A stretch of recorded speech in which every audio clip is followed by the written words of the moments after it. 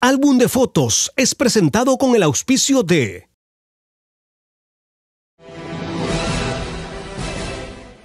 Una estructura con una gran puerta central y tres torres con cruces en sus cúspides es la imagen central de nuestra foto de hoy. No cabe duda que es una iglesia y delante de ella hay cuatro palmeras, faroles y una gran explanada. En los alrededores se levantan casas de dos pisos con amplios balcones, todas de madera. También se observan varias personas a la entrada del templo y algunas están llegando. La fotografía constituye un recuerdo de la creencia católica de un poblado. Sin embargo, hay varias interrogantes. ¿Dónde fue tomada? ¿En qué año? ¿Cómo se llama la iglesia? ¿Y existe aún en la actualidad? Todas estas respuestas y muchas más las conoceremos en Álbum de Fotos. Sean todos bienvenidos.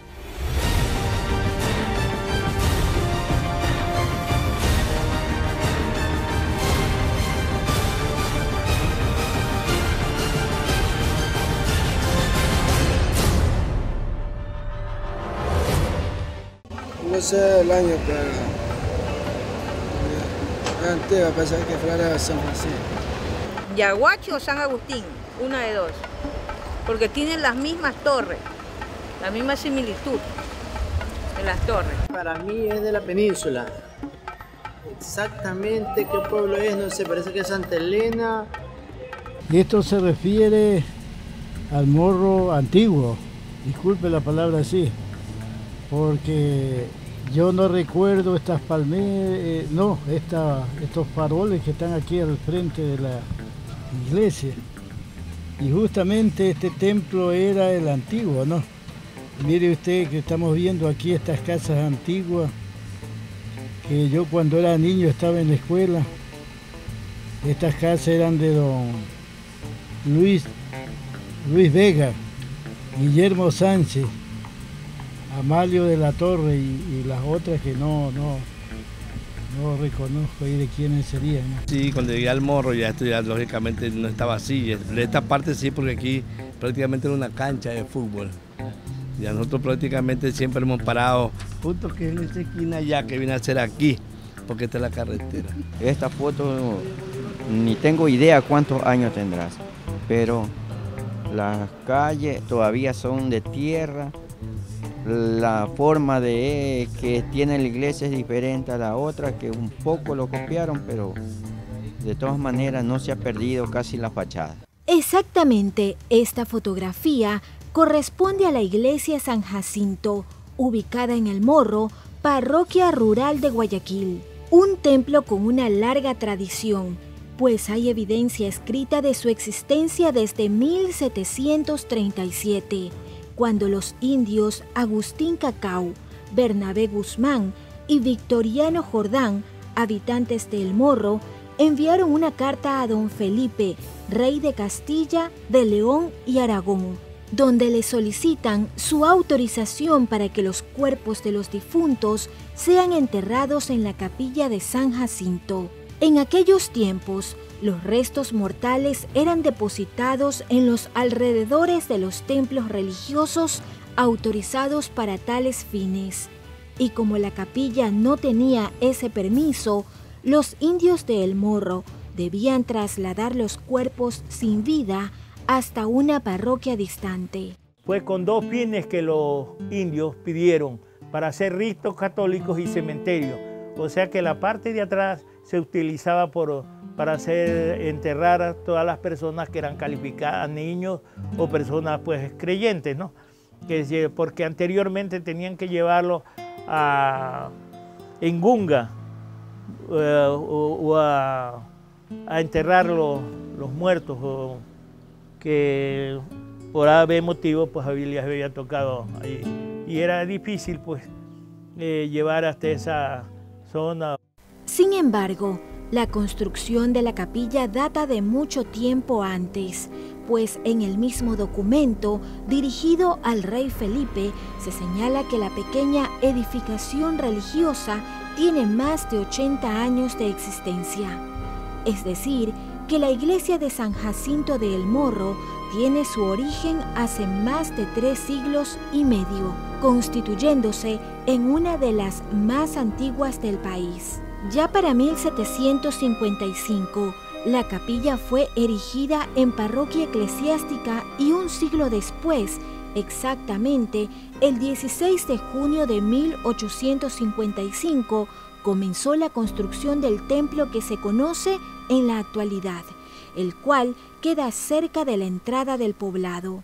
Duró más o menos unos 13 años la, eh, la construcción de la iglesia porque en aquella época pues no había transporte y ellos venían con las maderas especiales aquí a tres kilómetros al estero de Puerto del Morro, en balandas y de ahí en polines y cuestiones traían esas maderas que todavía la iglesia tiene un 30 o 40% de esa madera que existieron para los postes o los pilares que está todavía en forma la iglesia.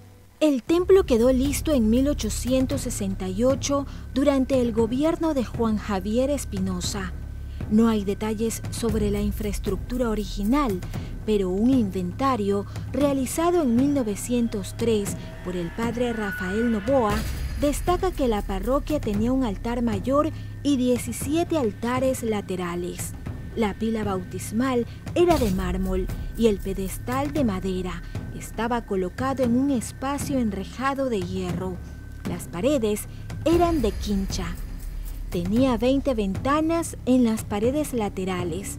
Había tres entradas y una puerta lateral en cada nave, mientras que el púlpito era pequeño, pero no hay detalles sobre la extensión del templo. En cambio, las cuatro palmeras que están al frente fueron sembradas en 1877, dando un toque singular al exterior de la parroquia. Las palmeras aquí están pequeñas, esas palmeras fueron altas, por ser no muy redundante, altísimas como dicen la gente. Esta palma de aquí llegaba hasta por aquí arriba. 7, 8 metros más. Con el paso del tiempo, las palmeras se deterioraron y se cayeron ya en el siglo XX. Por ello, los conocedores aseguran que la foto de nuestro programa de hoy fue captada en 1905, apenas dos años después del inventario realizado por el padre Novoa. Para estos años, el interior del templo ya presentaba problemas.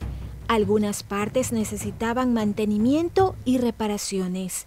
Sin embargo, la falta de recursos económicos de la propia parroquia y de la población impidió que se realizaran obras significativas durante varias décadas. En 1980, la parroquia fue declarada Patrimonio Cultural del país. Pese a ello, el deterioro continuaba y cada día era más evidente. Toda esta iglesia que usted ve, que tiene cerca de 300 años, esta iglesia fue deteriorada eh, por el tiempo, se humedeció, el piso era de, de tablado, se hundía, por aquí corrían los animales, las bestias, digamos, y se moviente y se pudrieron los palos y se hizo chueca, se cayó la iglesia, todo esto era la iglesia. Lo que fue un emblema de El Morro se convirtió en una estructura peligrosa. Para 1993, el Banco Central realizó un trabajo de mantenimiento logrando arreglar los pilares y el techo sostenido por vigas de madera tal como era antes, conservando los materiales originales. Pero los trabajos no continuaron al resto del templo. Los pobladores también efectuaron trabajos menores para evitar el colapso total de la iglesia. Esas tres torres, con dos carpinteros y dos, dos ayudantes, las tumbé con los fondos porque estuve de presidente del Consejo Pastoral, se caían por pedazos. Y entonces me vio obligado como jefe del Consejo Pastoral, como presidente del Consejo Pastoral, conversé con el padre y le digo, padre, yo tengo estos fondos, los voy a emplear, pero no te alcanza. Vamos a hacer lo posible, lo que quedaban de la fiesta y las tres torres, yo tengo fotos, y tengo ahí de, de lo que dice, no es cuestión que le estoy inventando. Mi sobrino me consiguió cuando tumbé la una, cuando tumbé la otra y cuando tumbé las otras torres. Las tres torres arreglé eh, lo que ven ustedes el corredor. No tan bonito, no tan esto, pero de la forma como estaba, a, a cómo la dejé, pues pudo resistir. Este trabajo se dio en 2002 y de ahí la población tuvo que esperar siete años hasta que el municipio de Guayaquil ejecutó un proyecto para la restauración integral de la parroquia. La obra tomó nueve meses y se intentó dejar la estructura tal como fue construida en 1855. Por ello, se reutilizaron partes de madera del templo original, las cuales pasaron por una técnica de conservación. También se rehabilitaron las campanas y el techo. Adicionalmente, se construyeron bases de hormigón armado. El piso de tabla sí tuvo que cambiar y actualmente es de porcelanato. A las columnas se las revistió con cemento y se agregaron gradas tomando en cuenta que el nivel de la calle es más alto. Así luce la restaurada iglesia San Jacinto del Morro, que reabrió sus puertas a inicios de 2010 y que actualmente es un punto turístico importante para el poblado. Pero hay una gran interrogante que a pesar del paso de los años aún no tiene respuesta concreta. ¿Por qué la parroquia lleva el nombre de San Jacinto? La única evidencia que existe al respecto es una narración que ha pasado de generación en generación. Aquí vinieron unos hermanos jesuitas y dominicanos con tres vírgenes. Repartieron aquí a playas que ya era pues un caserío mayor, escogieron la Virgen de la Mercedes y a San Jacinto lo dejaron aquí. Y desde ese momento, pues la parroquia, pues la iglesia quedó con el nombre de San Jacinto. Esta aseveración no menciona años, nombres ni otro dato revelador. Por tal motivo, hasta el actual párroco de la iglesia no tiene conocimiento del origen de la devoción del pueblo al santo. No sé quién trajo acá la devoción de San Jacinto, qué párroco trajo acá la imagen, y le agradezco al trabajo que hizo porque dejó tan enraizado, tan metido en el corazón de la gente que es, es una fiesta, es una fiesta que atrae a muchas personas, muchas personas. En la misa están casi 3.000 personas, tanto en la víspera como en la, como en la, en la misa de fiesta. La celebración de San Jacinto el 15 y 16 de agosto de cada año es una ocasión importante en el Morro, donde hay espacio para los ritos religiosos y los eventos sociales. Esta combinación atrae a miles de personas que en su gran mayoría vienen a visitar el templo. En esa época pues se llena pues también con la con personas que vienen por ejemplo de Pozorja, vienen de Data de Villamil, Data de Pozorja, vienen gente de playas, de Progreso, de Guayaquil inclusive. Se dice que antes, cuando existía la fiesta esta de San Jacinto, hasta la flota de barcos pesqueros paraban por asistir pues, a este patrono nuestro que ha sido muy milagroso. Luego del corte, conoceremos quiénes fueron los primeros pobladores de El Morro, sus años de floreciente actividad económica, su posterior caída y su actual resurgimiento. Ya regresamos.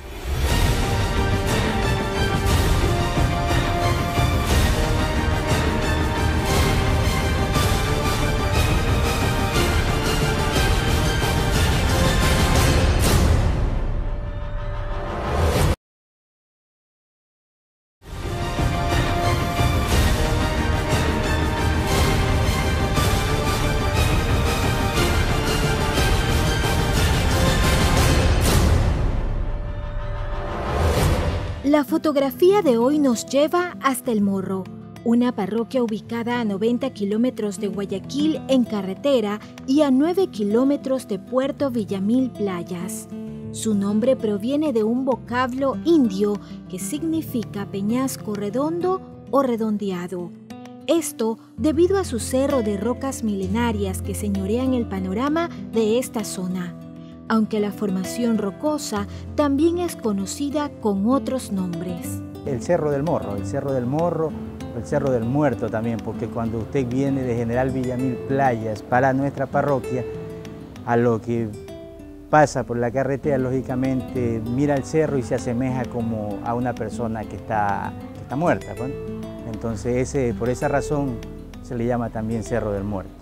El origen del poblado data de mediados del siglo XVII, cuando habitantes del pueblo de Chanduy dejaron sus tierras y avanzaron hacia el sur en busca de mejores condiciones naturales para su vida y la alimentación de sus animales. Estos señores encontraron estas zonas muy propicias para el aumento de su ganadería y en poco tiempo trajeron a sus familiares y amistades y sacaron permiso al virreinato de Quito para hacer una iglesia porque eran muy católicos. Según datos históricos, la migración hacia el Morro tuvo que haber comenzado en 1654, pues en ese año se registra una baja considerable de los indios que pagaban impuestos en Chanduy. Además, por estos años también había una gran sequía en esa zona. En cambio, en el morro había fuentes de agua dulce y vegetación, lo cual permitió un gran impulso para la ganadería.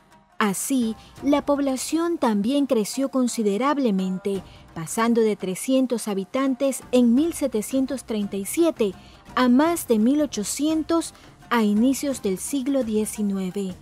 Fueron años de florecimiento económico para el poblado a tal punto que el morro fue elevado a cantón en 1833.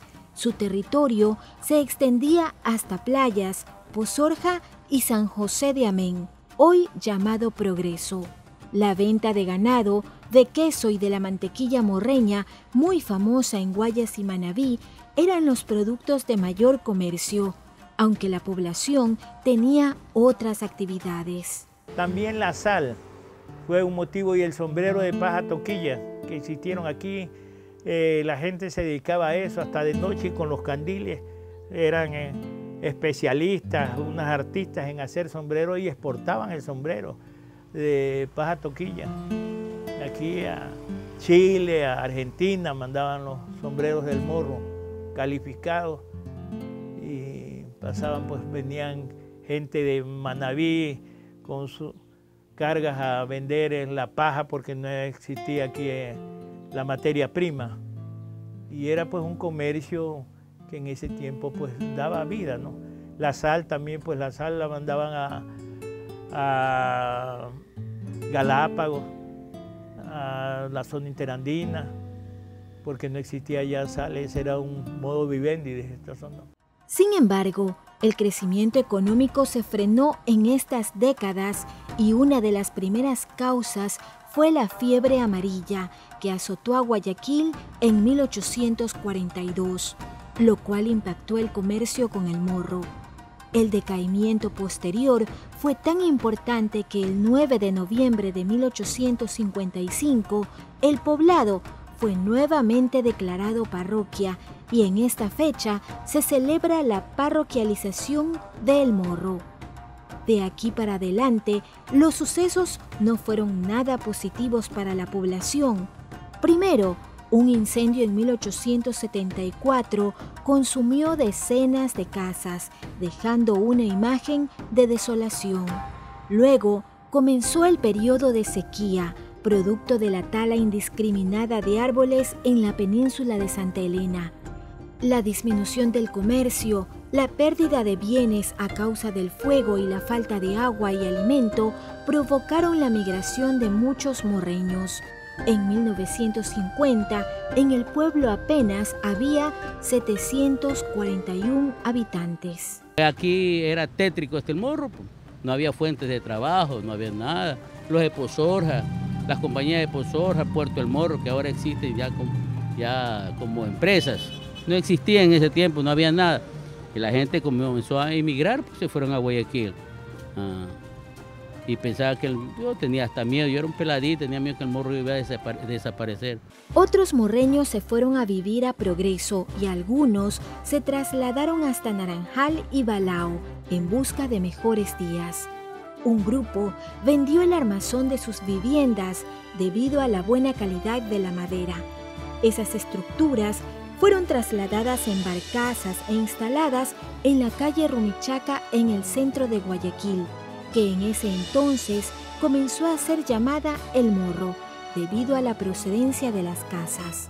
La pobreza era la característica de toda la parroquia. Unos pocos pobladores se mantenían con la cría de reses y de chivos, hasta que nuevas actividades productivas en la vecina Pozorja permitieron una pequeña recuperación económica. Llegaron las procesadoras de pescado, camaroneras y posteriormente granjas avícolas. Con estas nuevas plazas de trabajo paró la emigración constante de los morreños y comenzaron días mejores para la población.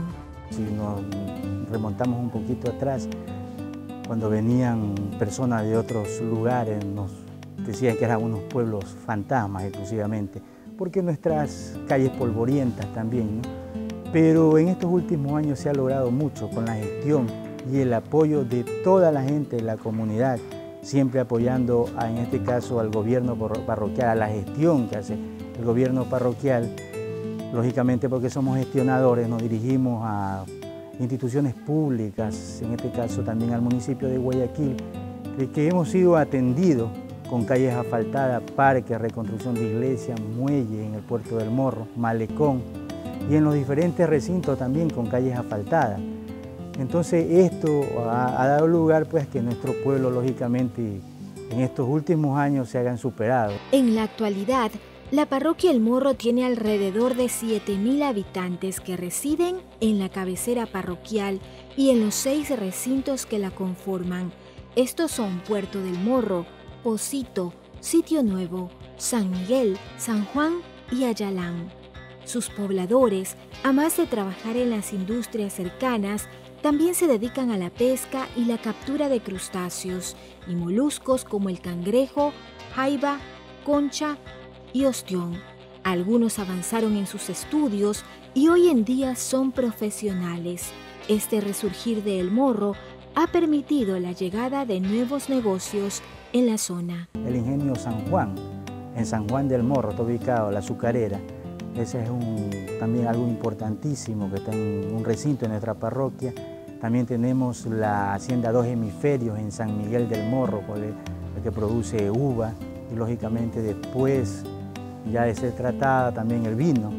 El vino son cosas muy importantes que están produciendo también aquí en nuestra, en nuestra parroquia. El Morro está aprovechando esta nueva oportunidad para recuperar su prosperidad, dejando atrás las calles de tierra, la pobreza y las carencias. Un ejemplo de ello es el servicio de agua potable. Porque antes aquí el agua venían los tanqueros a, a vender y a veces los tanqueros vendían en una parte, ya no alcanzaba, uno gritaba, agua, agua. Ahora es diferente, por eso le digo, el morro ha cambiado bastante. Ahora en cambio no, ahora tenemos este, por llave y muy pronto ya el agua viene desde Guayaquil. Ya de aquí a un mes. La población está avanzando hacia el progreso, pero sin olvidar sus tradiciones en especial sus dos grandes fiestas, las patronales de San Jacinto en agosto y las de parroquialización en noviembre, donde se organizan un sinnúmero de eventos como elección de reina, bailes con bandas musicales, juegos pirotécnicos, desfiles y muchas distracciones más que incentivan el comercio en toda la parroquia. Todo ello en un ambiente de tranquilidad por ello, el morro es denominado paraíso de paz. Además, los habitantes recuperaron la celebración permanente de sus actos religiosos, situación que se había afectado cuando la iglesia estaba deteriorada. Esta parroquia estuvo sin párroco hace 60 años. Me dicen que soy el párroco número 60.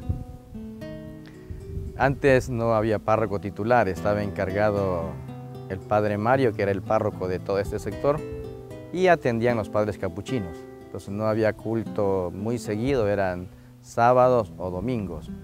Celebraban y inmediatamente salían a sus parroquias. Luego de la restauración integral del templo, los servicios religiosos se normalizaron. El actual párroco de la iglesia San Jacinto fue posesionado el 8 de diciembre de 2015, aunque ya oficiaba misas en el lugar desde mediados del año pasado.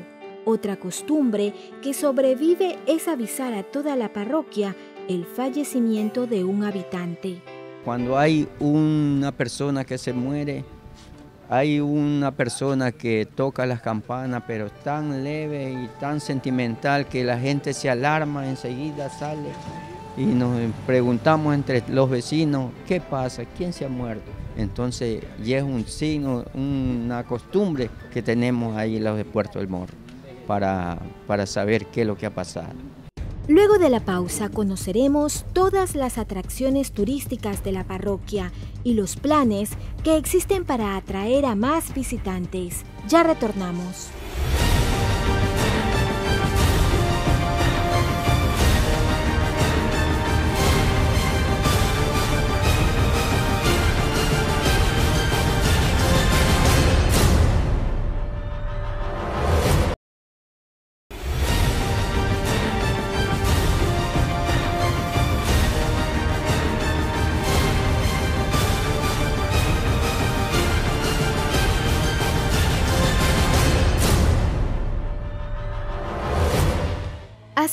Un siglo fue tomada esta fotografía de la iglesia San Jacinto en la parroquia El Morro, una localidad que en ese tiempo se sustentaba de actividades ganaderas y del comercio, una realidad totalmente distinta al presente, pues ahora sus habitantes se dedican a las actividades pesqueras, agrícolas y trabajan en diversas industrias asentadas en lugares cercanos y desde hace unos cinco años la población también ha incursionado en el turismo. Esta nueva actividad tomó fuerza desde la restauración integral que se efectuó en la iglesia, que es el símbolo principal de la parroquia, y desde la ejecución de las obras de regeneración a cargo del municipio de Guayaquil. Como destino turístico estamos ofreciendo lo que es la visita a nuestro templo legendario, el Cerro del Muerto que manifestamos. Tenemos luego más adelante el recinto Puerto del Morro con todos sus atractivos turísticos como, los paseos a los delfines eh, que ofrecen las operadoras turísticas, sus comedores con comidas tradicionales, pues, allá en el recinto Puerto del Morro como es el marisco. También aquí en nuestra cabecera parroquial también podemos ofrecer este, lo tradicional en estos tiempos de invierno, que son los derivados de la leche, la mantequilla, la nata y lógicamente el famoso seco chivo.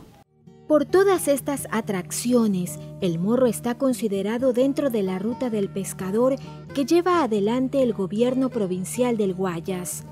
Un recorrido que inicia en Puerto Hondo, cerca de Guayaquil, y se extiende hasta la isla Puná. Además, las operadoras turísticas ya están considerando a la pequeña parroquia rural en sus paquetes, a tal punto que hasta turistas extranjeros que viajan en cruceros llegan a tierras morreñas y quedan impresionados por la naturaleza y en especial por la belleza del templo. We think it's really beautiful. We've never seen a church like this before because it's so big and it's built of wood and very beautifully decorated. It's a lovely yeah. surprise when you go in because you don't expect it to be quite so cool and lovely inside. Sin duda que la iglesia San Jacinto es una de las mayores atracciones no solo por su edificación basada en madera, sino por su larga historia, que se convierte en una narración fabulosa para los extranjeros. Sin embargo, para poder recorrer su interior, las visitas deben ser programadas con anticipación. Aquí para los turistas no está abierto todos los días, porque necesitaría una persona que esté constantemente cuidando y, viendo el mantenimiento, y eso es un egreso y la parroquia no está en capacidad para pagar un empleado. Cuando hay grupos han llamado, entonces se contacta a la persona que está encargada de las llaves y se le pide el favor que les acompañe o que les abra el templo. Otras de las atracciones de El Morro es su diversa fauna, donde se destacan las aves, moluscos, crustáceos y peces que se encuentran en los diferentes manglares de la zona. Un ecosistema propicio para alimentarse y vivir. Debido a la gran diversidad faunística, hace nueve años se abrió en la parroquia un centro de interpretación donde guías nativos informan a los visitantes las principales características de todas las especies que habitan en esta parte del país. Aquí encontramos lo que son las pequeñas almejas que se encuentran por esta zona, como la cual es la blanca y la negra que se la encuentra en partes arenosas. Encontramos lo que es la patemula, lo cual es la concha grande, dada el nombre ya que tiene la similitud a una pata. Eh, por lo general se lo recolecta cuando está la marea baja, ya que se encuentra en el centro del brazo de mar. En el medio encontramos lo que es el mejillón hacha, que por lo general se encuentra un poco en lo que son también partes arenosas. Encontramos lo que es el ostión, que está del lado de acá, lo cual está herido a lo que es a las raíces del manglar. Uno de los animales más importantes para el morro es el cangrejo rojo pues muchos habitantes se dedican a su captura para posteriormente comercializarlo. A este listado se suma el delfín nariz de botella, que atrae a cientos de turistas, quienes suben a embarcaciones y realizan paseos por las aguas del canal de El Morro para observarlos, constituyéndose en el sitio más cercano a Guayaquil, donde se puede apreciar en el estuario a estos mamíferos. Y no podemos dejar de mencionar la lisa, un pez tan importante para la parroquia que cada año se realiza un festival donde se lo captura para venderlo o prepararlo en deliciosos platos que cautivan a todos los presentes en el evento. En el morro también encontramos unas especies llamadas estuarinas, donde se destaca el lenguado, el chalaco brujo, el camarón brujo y el pez sapo. También encontramos lo que es la anguila, es la anguila normal, no es la eléctrica. Por lo general aquí se encuentra cuando está en lo que es en tiempo de aguaje alto. También encontramos la medusa, que al igual que la anguila entra a lo que es a esta zona en el tiempo de aguaje alto. Y también encontramos lo que son los tipos de raya, que se las encuentra lo que son adheridas a las piedras. Por el lado de las aves, en esta zona habita el ibis blanco, la fragata, el pato cuervo, el pelícano y una diversidad de garzas como la nivea, real, azul, morena, nocturna y la rosada. Volviendo a la parte poblada, muchas personas acuden hasta la parroquia para saborear el exquisito sabor de los panes preparados en horno de leña de la panadería San Francisco que está en el barrio Las Acacias. Este negocio tiene 95 años de existencia y desde sus inicios el éxito de sus productos ha sido la preparación en el singular horno. Su fundador fue Francisco Lázaro y de ahí han pasado tres generaciones de la familia. En la actualidad también se preparan roscas, quesadillas, cake y pizzas, en especial los fines de semana cuando llegan más turistas. Pero el producto estrella es el pan, que hasta se consume fuera del territorio nacional. Hay personas que viven en el extranjero, conocen ya la panadería y cuando ellos vienen acá al Ecuador, eh, unos días antes de irse ellos vienen a hablar que le hagan cierta cantidad de pan para poder llevar. El pan de leña de El Morro también se vende en playas y en otras localidades cercanas. Su demanda es tan alta que se trabaja casi todo el año. Solo se descansa el primero de enero. Por ello, su preparación demanda una jornada rigurosa. Se trabaja desde las dos y media de la mañana. Ya se viene a sacar las masas porque las masas tienen que reposar por lo menos una media hora para poderla trabajar. Después de estar trabajada, tiene que reposar media hora más para que pueda ingresar al horno. De ahí el pan pequeño que es de 10 centavos, de 6 a 8 de la mañana. Ese pan está en unos 10 a 15 minutos. El pan grande que nosotros le llamamos pan de dulce y pan de sal, que vale un dólar, eso está a las 10 y media, 11 de la mañana. Es el pan que se mantiene toda la tarde hasta que se termine. A pesar de todas estas alternativas turísticas, la población no se conforma y tiene en mente nuevos proyectos, pues cree que el turismo es el camino para un mayor desarrollo. Nosotros exclusivamente como, como gobierno y con el presupuesto, presupuesto que manejamos los GACS, hemos implementado muchas situaciones en lo turístico y tenemos proyectado también turísticamente, hablando de la cabecera parroquial y el puerto del Morro, seguir luchando para mejorar las, vías de acceso primeramente, las vías de acceso, luego también tratar de, hacer algo, algo, más turístico nuestra cabecera parroquial. Estamos luchando por conseguir un parque acuático, mejorar eh, la infraestructura del malecón, lógicamente la otra fase del malecón en el puerto del Morro, ya que todas estas situaciones servirán en conjunto para tener más afluencia ¿no? de turistas. Así, el Morro combina sus días entre la modernidad y las tradiciones, entre las edificaciones nuevas o restauradas y las antiguas, entre el recuerdo del pasado y su visión hacia el futuro de un poblado que busca progresar.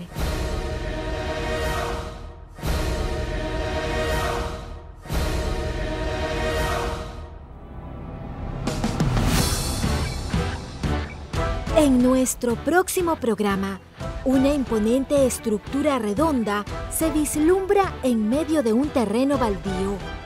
Decenas de vehículos escoltan su entrada miles de personas en su interior y una cancha de fútbol. ¿En qué lugar fue tomada esta foto? ¿A qué año corresponde? Usted lo descubrirá el siguiente sábado a las 15 horas aquí en Canal 1.